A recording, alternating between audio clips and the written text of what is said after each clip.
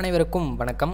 இந்த வீடியோவில் நம்ம டிஎன்இஏ ஆன்லைன் கவுன்சிலிங் ப்ரொசீஜர் எப்படி நடக்கும் கவுன்சிலிங்னா என்ன அது எப்படி நடக்கும்? ஆல்ரெடி ரிஜிஸ்ட்ரேஷன்லாம் நீங்கள் பண்ணிகிட்ருப்பீங்க பட் கவுன்சிலிங் எப்படி நடக்கும் அப்படின்றத பற்றி டீட்டெயிலாக நம்ம வந்து பார்க்க போகிறோம் இப்போ இந்த கவுன்சிலிங் எப்படி நடக்குது நம்ம எந்த பேசிஸில் பார்க்க போகிறோம் அப்படின்னு பார்த்தீங்கன்னா நம்ம டிஎன்இஏ இன்ஃபர்மேஷன் ப்ரௌச்சர் அப்படின்னு சொல்லிட்டு வருஷம் வருஷம் ஒன்று ரிலீஸ் பண்ணுவாங்க. அந்த ஒரு பேசிக்ஸ் வச்சு தான் பார்க்க வரும். அந்த புக்கில் தான் நம்ம இப்போ பார்த்துட்ருக்கோம். இதில் என்ன கொடுத்துருக்காங்க அண்ட் இதை தாண்டி நிறைய விஷயங்கள் இருக்குது அதையுமே நம்ம இந்த வீடியோவில் டீட்டெயிலாக பார்க்கலாம். வீடியோ லென்த்தாக இருக்குன்னு ஸ்கிப் பண்ணிடாதீங்க. வீடியோ ஃபுல்லாக பாருங்கள் ஃபர்ஸ்ட் பாயிண்ட் வந்து பார்த்தீங்கன்னா counselling will be conducted online in four rounds as per the schedule as per the schedule அப்படின்னா ஷெடியூல் அப்படின்றது வந்து உங்களுக்கு ரேங்க் லிஸ்ட் வந்ததுக்கப்புறம் ஒரு ஷெடியூல் ரிலீஸ் பண்ணுவாங்க. அந்த ஷெடியூலில் இந்த ரேங்க்லேருந்து இந்த ரேங்க் வரைக்கும். ஃபார் எக்ஸாம்பிள் முதல் ரேங்க்லேருந்து பத்தாயிரம் ரேங்க் வரைக்கும் ஃபஸ்ட்டு ஷெடியூல் ஃபஸ்ட்டு ரவுண்ட் அப்படின்னா அந்த ரவுண்ட் ஸ்டூடெண்ட்ஸ் வந்து ஃபஸ்ட் ரவுண்டில் அட்டன் பண்ணுவாங்க. அதுக்கப்புறம் வந்து பார்த்திங்கன்னா ஒரு ரேங்க் கொடுப்பாங்க. இப்போ இருபத்தி மூணாயிரத்துலேருந்து ஐம்பதாயிரம் வரைக்கும் செகண்ட் ரவுண்ட் அப்படின்ற மாதிரி. அதுக்கு முன்னாடியே உங்களுக்கு ரேங்க்லாம் வந்துடும் எல்லாருக்கும் காமனாக ஒரு ரேங்க் லிஸ்ட் அப்படின்னு சொல்லிட்டு ஒரு கிட்டத்தட்ட வந்து பார்த்திங்கன்னா ஒரு ஐநூறு அறுநூறு பேஜுக்கு வந்து பார்த்திங்கன்னா ஒரு பிடிஎஃப் ரிலீஸ் பண்ணுவாங்க. அதில் வந்து உங்களோட நேமை நீங்கள் வந்து சர்ச் பண்ணிக்கணும். அதில் நீங்கள் ரேங்க் வந்து பார்த்துக்கலாம் இல்லை அப்படின்னா நீங்கள் டிஎன்ஏ லாகின் பண்ணி பார்த்தீங்கன்னாலே உங்களோட ரேங்க் லிஸ்ட் அப்படின்றது உங்களோட ரேங்க் வந்து காமிக்கும். General rank and community rank அப்படின்னு சொல்லிட்டு ரெண்டு காமிக்கும் அதை நீங்கள் பார்த்துக்கலாம். அட் நெக்ஸ்ட் பார்த்தீங்கன்னா என்ன சொல்லியிருக்காங்க? Candidates will participate in corresponding rounds based on their rank அதான் நான் ஆல்ரெடி சொன்னது போல். உங்களோட ரேங்கை பொறுத்து உங்களோட ரவுண்ட் வந்து டிக்ளேர் ஆகும் அப்படின்றது. Each round has four steps எல்லா ரவுண்டுமே வந்து ஃபோர் ஸ்டெப்ஸ் இருக்குது இது வந்து கவுன்சிலிங்கோட ப்ரொசீஜர் ஃபஸ்ட் சாய்ஸ் ஃபில்லிங் அப்படின்றது வந்து நடக்கும். அடுத்தது அலாட்மெண்ட் அப்படின்றது நடக்கும். அதுக்கப்புறம் கன்ஃபர்மேஷன் ஆஃப் அலாட்மெண்ட் அப்படின்றது நடக்கும். அந்த அதுக்கு அடுத்தது நீங்கள் காலேஜ் போயிட்டு பேமெண்ட் அதாவது நீங்கள் காலேஜ் போயிட்டு அட்மிஷன் போட்டு உடனே பேமெண்ட் பண்ண மாதிரி இருக்கும்.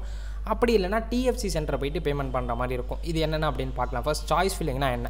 சாய்ஸ் ஃபில்லிங் அப்படின்றது உங்களோட கவுன்சிலிங் டேட் ஃபார் எக்ஸாம்பிள் இப்போ வந்து நமக்கு ஏழாம் தேதி கவுன்சிலிங் ஓப்பன் ஆகுது அப்படின்னா அந்த ஏழாம் தேதி அன்னைக்கு காலையில் ஒரு பத்து பதினோரு மணி போல் உங்களோட login ID and password enter பண்ணி நீங்கள் டிஎன்ஏ வெப்சைட் ஓப்பன் பண்ணிங்கன்னா உங்களுக்கு ஓப்பன் சாய்ஸ் ஃபில்லிங் பேஜ் அப்படின்னு சொல்லிட்டு ஒரு ஆப்ஷன் காமிக்கும். அது அந்த டைமில் கண்டிப்பாக உங்களுக்கு வீடியோ அந்த டைமில் நாங்கள் அப்லோட் பண்ணுறோம் ஓகேங்களா ஓப்பன் சாய்ஸ் ஃபில்லிங் அப்படின்னு சொல்லிட்டு ஒரு கீழே ஒரு பட்டன் இருக்கும். நீங்கள் அதை கிளிக் பண்ண உடனே உங்களுக்கு எல்லா சாய்ஸ் ஃபில்லிங் பேஜஸ்மே ஓப்பன் ஆகும். அதாவது ஒரு காலேஜோட கோட் நீங்கள் என்டர் பண்ண மாதிரி இருக்கும். அது பக்கத்தில் அந்த காலேஜோட நேம் வரும். அந்த காலேஜில் இருக்கக்கூடிய டிபார்ட்மெண்ட்ஸ் எல்லாமே காமிக்கும். சைடில் டிக் பாக்ஸ் இருக்கும். அந்த டிக் பாக் அந்த டிக்கை வந்து நீங்கள் கிளிக் பண்ணிட்டீங்க அப்படின்னா அது போயிட்டு ஃபஸ்ட் ஆர்டராக உட்காந்துக்கும். நீங்கள் அதுக்கப்புறம் வந்து பார்த்தீங்கன்னா சாய்ஸ் ஃபில்லிங் அப்படின்றது கொஞ்சம் பெரிய ப்ராசஸ் அதை பற்றி டீலில் அப்புறம் பார்க்கலாம். சாய்ஸ் ஃபில்லிங் பண்ணுவீங்க. அண்ட் அதுக்கப்புறம் வந்து பார்த்தீங்கன்னா ஒரு த்ரீ டேஸ்க்கு அப்புறம் அலாட்மெண்ட் அப்படின்றது வந்து நடக்கும். அலாட்மெண்ட் அப்படின்னா சாய்ஸ் ஃபில்லிங் எல்லாருமே பண்ணுவாங்க. இப்போ ஃபார் எக்ஸாம்பிள் ஒரு பத்து பேர் வந்து ஒரே காலேஜில் ஒரு பத்து பேரில் ஒரு நூறு பேர் வந்து ஒரே காலேஜில் ஐடி வேணும் அப்படின்னு கேட்குறாங்க அப்படின்னா எல்லாருக்குமே அந்த பத்து பேருக்குமே ஐடி கிடச்சிடாது. அவங்களோட ரேங்க்கை பொறுத்து அதில் ஒரு அந்த நூறு பேரில் பத்து பேர் வந்து முதல் பத்து ரேங்க்கில் இருக்காங்க அப்படின்னா அவங்களுக்கு கிடச்சிரும். பட் கடைசி பத்து பேர் வந்து பின்னாடி இருக்காங்க. ஸோ அவங்களோட ரேங்கை பொறுத்து அவங்களுக்கு அந்த காலேஜில் அலாட் ஆகாமல் அதுக்கு அடுத்த காலேஜில் அலாட் ஆகும். ஸோ இதுதான் அலாட்மெண்ட்னு சொல்லுவாங்க. இந்த அலாட்மெண்ட் நமக்கு வந்து ஒரு மூணு நாளில் வந்துடும் அதுக்கப்புறம் ஒரு ஏழு நாள் நமக்கு டைம் கொடுப்பாங்க. ஏழு நாள் இல்லை ஜஸ்ட் ஒரு மூணு நாள் டைம் கொடுப்பாங்க. கன்ஃபர்மேஷன் ஆஃப் அலாட்மெண்ட் அப்படின்னு சொல்லிட்டு. நீங்கள் அலாட்மெண்ட் உங்களுக்கு ஃபார் எக்ஸாம்பிள் இப்போ வந்து அண்ணா யூனிவர்சிட்டி சிஇஜி கேம்பஸில் கெமிக்கல் இன்ஜினியரிங் கிடச்சிருக்கு அப்படின்னா நீங்கள் அந்த அலாட்மெண்ட்டை கன்ஃபார்ம் பண்ணுறீங்களா நீங்கள் அதை ஏற்றுக்கிறீங்களா உங்களுக்கு அந்த காலேஜில் சேர விருப்பம் இருக்கா அப்படின்னு கேட்பாங்க. நீங்கள் ஜஸ்ட் கன்ஃபார்ம் அண்ட் சப்மிட்னு கொடுக்கணும். அதை கொடுத்துற உடனே வந்து அடுத்த ஒரு ஏழு நாளில் நீங்கள் போயிட்டு காலேஜில் ரிப்போர்ட் பண்ண மாதிரி இருக்கும். காலேஜில் ரிப்போர்ட் பண்ணுறது அப்படின்னா காலேஜுக்கு போயிட்டு நீங்கள் காலேஜில் ஃபீஸ் பேமெண்ட் பண்ணணும் அட்மிஷன் ப்ராசஸ் எல்லாமே முடிச்சிடணும். பட் உங்களுக்கு கவுன்சிலிங் ஃபீயை தாண்டி எக்ஸ்ட்ரா வாங்குவாங்க சில ப்ரைவேட் காலேஜஸில் அது எல்லாமே நம்ம வந்து எதுவுமே பண்ண முடியாது. நீங்கள் காலை நீங்கள் காலேஜுக்கு போகிறதுக்கு முன்னாடி கால் பண்ணி அந்த காலேஜில் கேட்டுக்குங்க. இது போல் வந்து உங்கள் உங்கள் காலேஜில் எங்களுக்கு அலாட்மெண்ட் வந்திருக்கு. காலேஜ் ஃபீஸ் எவ்வளோ இந்த டிபார்ட்மெண்ட் அப்படின்னு தெளி தெளிவாக கேட்டுட்டு ஃபீஸ் எடுத்துகிட்டு போங்க. பிகாஸ் ஒரு சில காலேஜஸில் வந்து ஃபீ வந்து கையில் தான் வாங்குவாங்க. ஆன்லைன் பேமெண்ட் எல்லாமே ஒத்துக்க மாட்டாங்க. ஸோ நீங்கள் டீட்டெயிலாக விசாரிச்சுட்டு போங்க. At next in each round the following procedure will be followed அது ஆல்ரெடி நான் தமிழில் சொன்னதை இவங்க இங்கிலீஷில் சொல்லியிருக்காங்க. நம்ம ஏதாவது மிஸ் பண்ணிட்டா அதுக்கு நம்ம பார்த்துடலாம் அதையுமே a candidate will be given three days for the choice filling already சொன்னால மூணு நாள் நமக்கு சாய்ஸ் ஃபில்லிங் கொடுப்பாங்கன்னு சொல்லிட்டு நீங்கள் அந்த மூணு நாளில் ஃபஸ்ட்டு ரெண்டு நாளில் மாற்றி மாற்றி அதை ஏதோ போட்டுட்டு ஃபைனலில் வந்து ஒரு அஞ்சு மணிக்கு நமக்கு சாய்ஸ் ஃபில்லிங்கை லாக் பண்ணுவாங்க. அந்த அஞ்சு மணிக்கு முன்னாடி அலாட்மெண்ட் நீங்கள் கரெக்டாக சேஞ்ச் பண்ணி வச்சிட்டிங்க அப்படின்னா அதுக்கப்புறம் நீங்களே சப்மிட் பண்ணால் அப்படின்னா ஆட்டோமேட்டிக்காக அதுவே லாக் ஆகிடும் okay next candidate will have to fill their colleges choice of colleges and branches based on their preference the order of choices is important a candidate can fill any number of choices அதாவது அன்லிமிட்டடான choices அப்படின்றது இருக்கும் choice filling பற்றி டீட்டெயில்டாக ஒரு video இருக்குது நீங்கள் அதை பார்த்துக்கங்க at next candidate allotment will be based on the preferential order of choices based on their rank and the eligible seat matrix first உங்களோட ரேங்கை பார்ப்பாங்க அண்ட் உங்களோட கம்யூனிட்டியை பார்ப்பாங்க. ஒரு காலேஜில் பிசிக்கு இத்தனை சீட் அலாட் பண்ணோம் அப்படின்னு சொல்லிட்டு ஒரு சீட் மேட்ரிக்ஸ் அப்படின்றது இருக்குது அதை வச்சு உங்களோட கம்யூனிட்டிக்கு சீட் இருந்துச்சு அப்படின்னா உங்களை அந்த இடத்துக்கு அலாட் பண்ணி விடுவாங்க. Next during allotment stage if the candidate is allotted a seat then the following below mentioned options will be chosen for the confirmation the seats the candidate must confirm that seat within two days அது நான் already நான் three டேஸ்னு சொன்னால் two டேஸில் நீங்கள் வந்து அலாட்மெண்ட்டை confirm பண்ணணும் confirmation அப்படின்னு சொல்லிட்டு வரும்.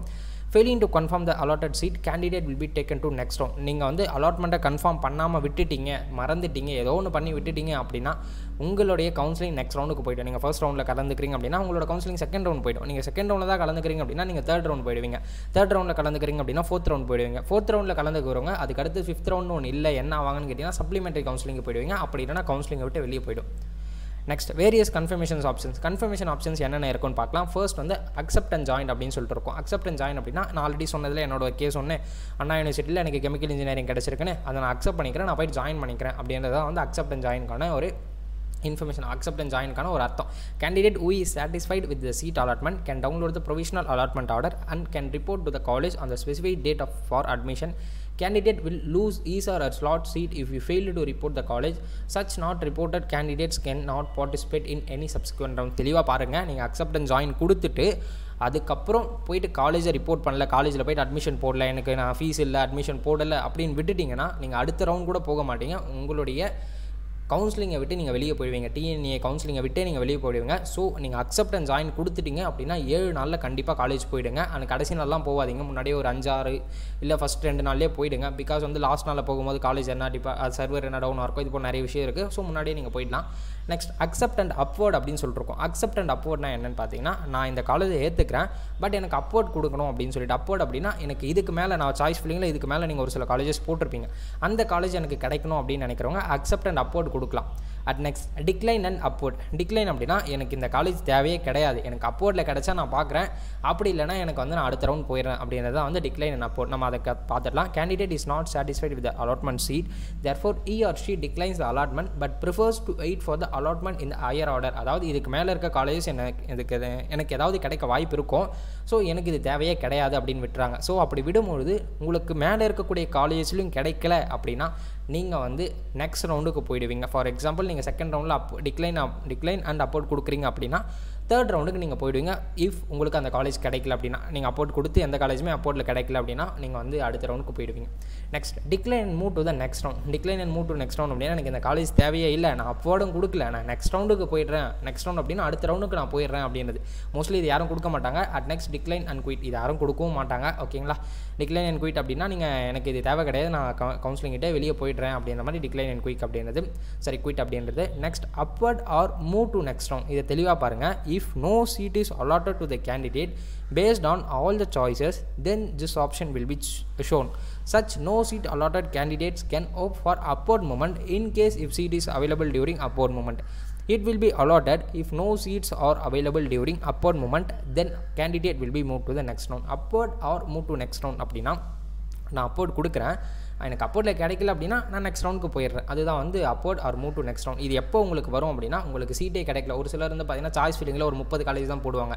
அதுவும் டாப் லெவல் காலேஜ் போட்டுட்டு காலேஜ் கிடைக்குன்னு வெயிட் பண்ணிருப்பாங்க பட் அந்த முப்பதில் அந்த முப்பது காலேஜ்லேயுமே வந்து சீட் ஃபில் ஆகிட்டு இருக்கும். ஸோ அவங்க எல்லாருக்குமே இந்த ஆப்ஷன்ஸ் வரும். இந்த ஆப்ஷன் என்ன ஆகும்? மோஸ்ட்லி அப்படி ரேர் அது ரொம்ப யாரும் அப்படிலாம் போடாதீங்க. நூறு காலேஜுக்கு மேலே போடுங்க. ஓகே நெக்ஸ்ட் வந்து பார்த்தீங்கன்னா அப்போர்ட் அண்ட் மூவ் இது வந்து நம்ம பார்த்துட்டோம். அதுக்கப்புறம் என்ன கொடுத்துருக்காங்கன்னு பார்த்தீங்கன்னா all candidates who are satisfied with the currently allotment seat and hope and have opted for accept and join must download the allotment order can report to the college within 5 days and complete the admission procedure by paying the necessary fee candidates who has been allotted seat in 7.5 quota and candidates who have uploaded the required certificate for the first graduate scholarship or post matric scholarship are expected from paying the fees தெளிவாக பாருங்கள் seven point ஃபைவ்க்கு fees கிடையாது and first graduate and post மெட்ரிக்குமே வந்து அந்த ஒரு fees concession அப்படின்றத கண்டிப்பாக கொடுக்கணும் அப்படின்றத சொல்லியிருக்காங்க நான் அட்மிஷன் இந்த college college will be considered as not willing to join in the allotment order will அதாவது நான் ஆல்ரெடி சொன்னது போல் நீங்கள் காலேஜுக்கு போகல அப்படின்னா அதை வந்து நான் அட்மிஷன் சொல்லிட்டு உங்களோட சீட்டை வந்து கேன்சல் பண்ணிடுவாங்க நீங்கள் அடுத்த ரவுண்டுக்கு போக முடியாது நீங்கள் கவுன்சிலிங் விட்டே வெளியே போயிடுவீங்க at next